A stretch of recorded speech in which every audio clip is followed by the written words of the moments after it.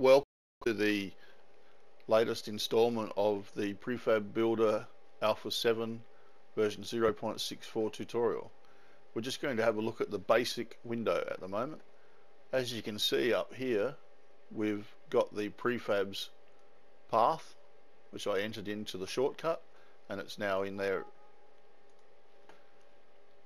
Here on the left hand side, we've got the number of blocks in our design window. At the moment it's populated with nothing, so we'll put in 10, 10 and 10, create, create a design matrix which is 10 blocks or 10 columns by 10 rows starting at one at the bottom here and the column the rows go up and the columns go from the left to the right next on our left window in the left pane here we've got a block number and a sub block number. They are just there for display. Here we've got our block name which has all 801 blocks that are in the um, Z menu in the creative menu in the game. We have orientation 16 different orientations. Some of them some blocks have 16 orientations some blocks have four, some blocks have two, uh, i.e. doors only have two, down west and down north for, for doors. The thing to remember with doors is you need to add the lower door to layer number one um, and add the upper part of the door to layer number two in the same position.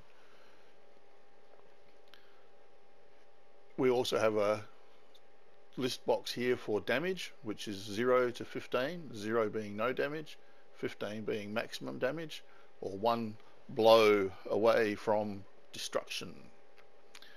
Now this 801 block list is very daunting, so you could just type in, if you only wanted to find something that has brick in the name, then you could type in brick and go search, and it repopulates this list with every block that has brick in its name.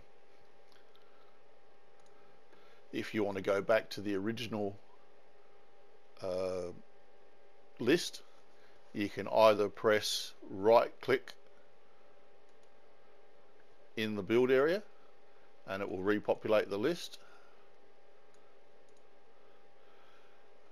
Or you could just empty this and go search. Does the same thing now a ground build status.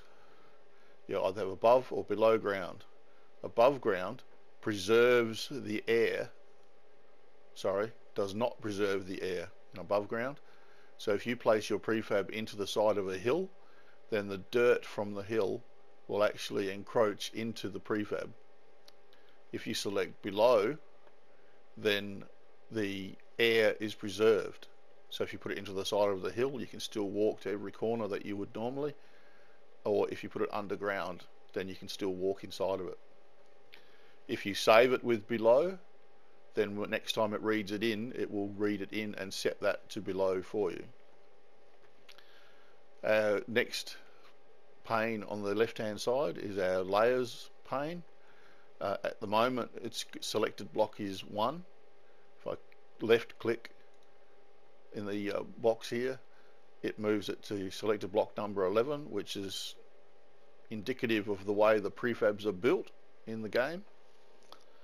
You can also use WASD to move the cursor around or even just the cursor keys to move the cursor around.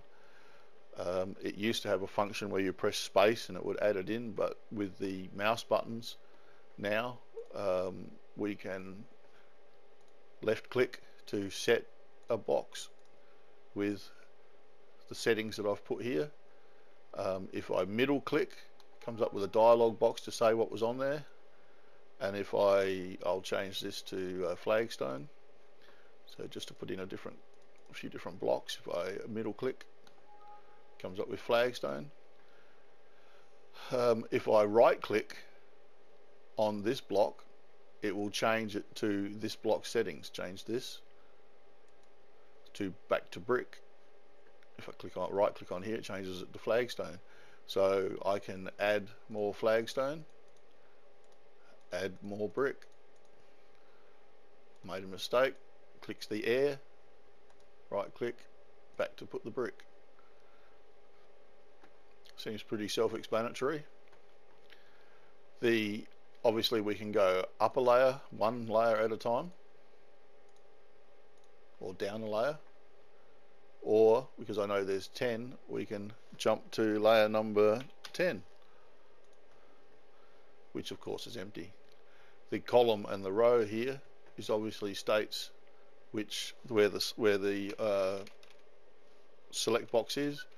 So later on when we go through the menus you'll see that we've got a replace block if you click outside the boxes it will come up with an outside build area.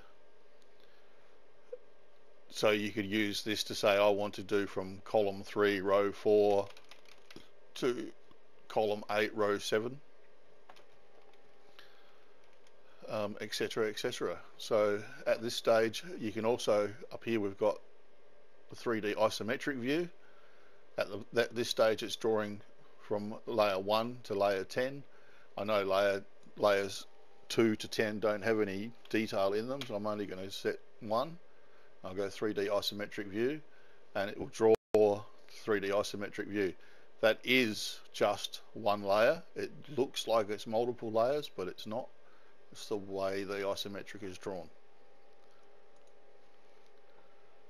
Um, in the next installment we'll go through the menu items. Thank you.